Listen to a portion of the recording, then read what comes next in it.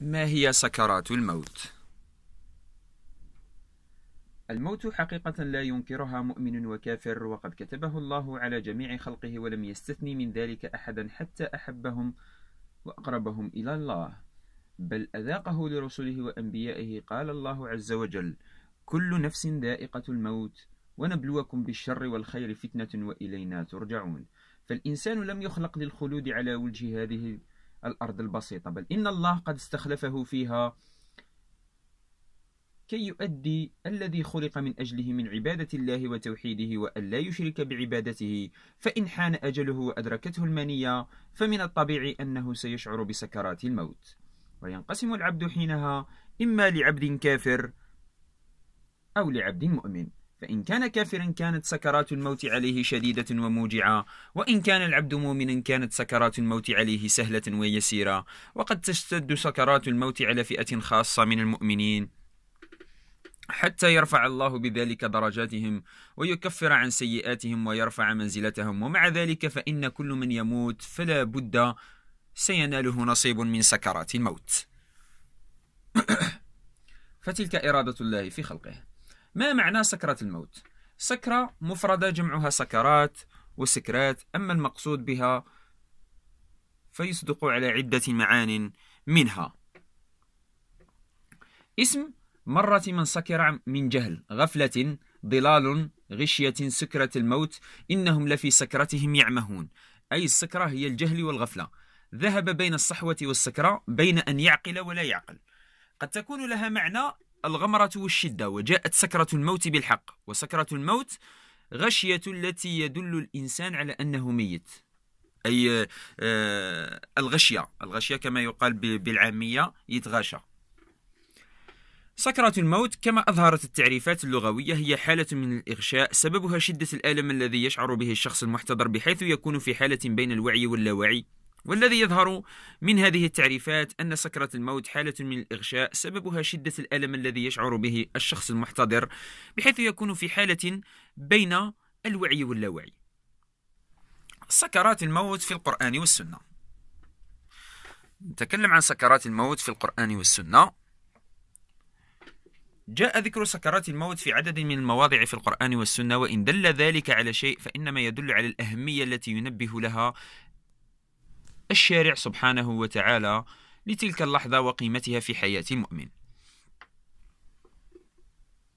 حتى يتنبه من غفلته ويكف عن معاصيه ويعود لفطرته ودينه القويم والآتي بعض تلك المواضع في القرآن والسنة مع بيان يسير لها. وصف الله سبحانه وتعالى شدة الموت في أربعة آيات هي الآية الأولى بعد قوله بعد قوله عز وجل بعد بسم الله الرحمن الرحيم وجاءت سكرة الموت بالحق.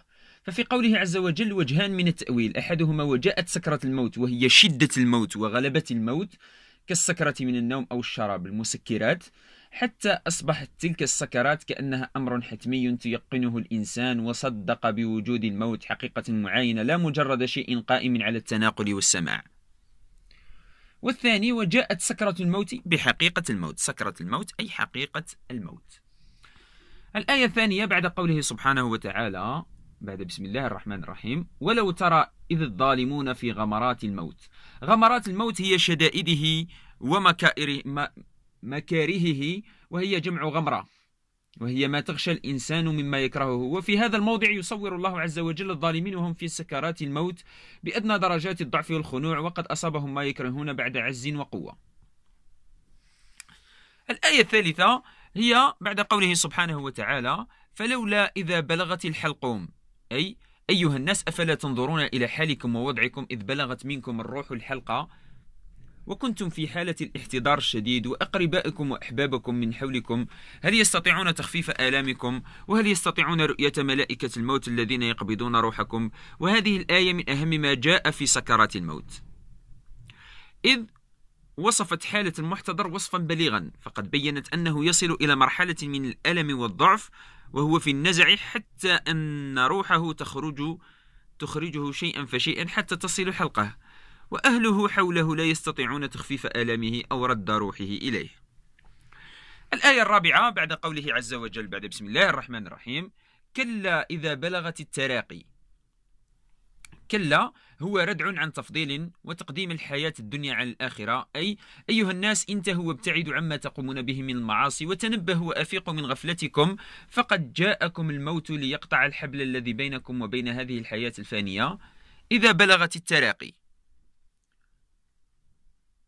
إذا بلغت التراقي. أي بلغت النفس أعالي الصدر وهي العظام المكتنفة لثغرة النحر عن يمين وشمال. وهذه الآية كسابقتها تشير إلى المرحلة التي تصل فيها الروح إلى الترقوة وهي عظمة في أعلى الصدر عظمتي الترقوة المعروفة.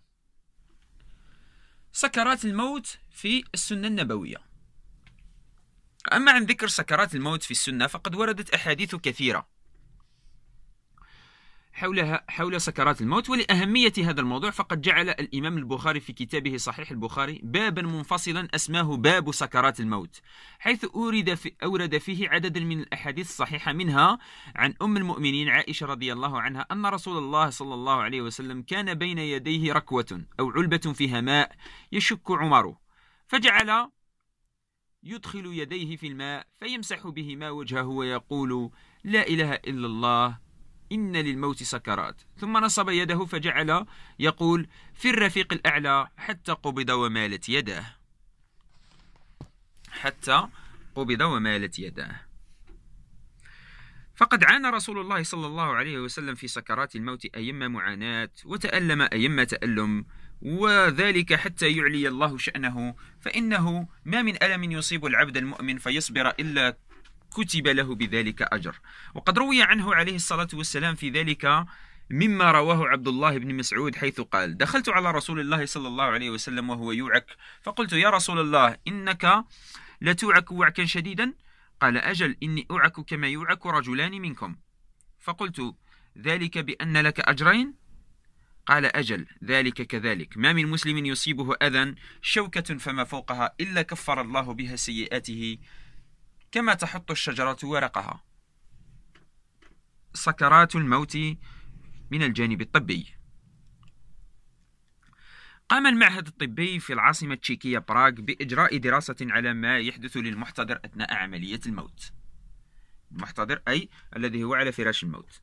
وما يراه الإنسان في آخر لحظات حياته مثل عرض لشريط ذكرياته خلال فترة حياته ورؤية ورؤيته لنفق في نهايته ضوء أبيض.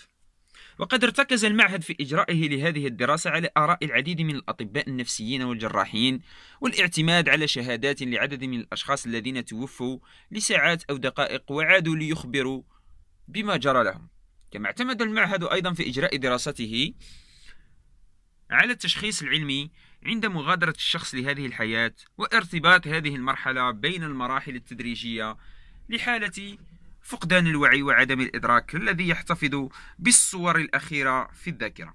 أظهرت الدراسة أن الخوف من الموت ورهبته ترك أثرا على التفكير. طبعا ترك أثرا على التفكير.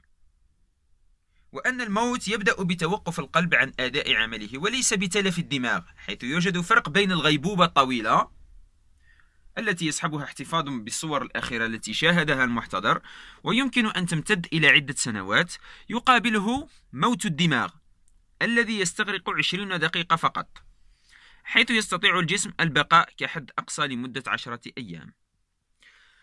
تكون اللحظات التي يأتي بها الموت سريعة ولا رجعة فيها عندما يموت القلب بشكل كامل.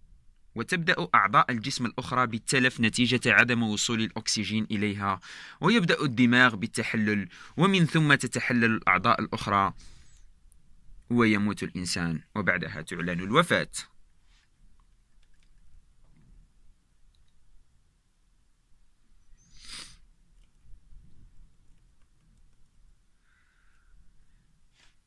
إلى هنا متابعي قناة لا حياء في الدين. نرجو أن نكون قد وص... نرجو أن نكون قد أفدناكم بهذا الدرس عن سكرات الموت التي هي جزء مهم وباب كبير في آه، كتاب صحيح البخاري. آه، إلى أن نلتقي في فيديو آخر. دمتم في أمان الله وحفظه. إلى اللقاء. لا تنسوا أن تشاركونا بعناوين الموضوعات التي التي تريدون أن نتكلم عليها في التعليقات. شكرا لكم وإلى اللقاء.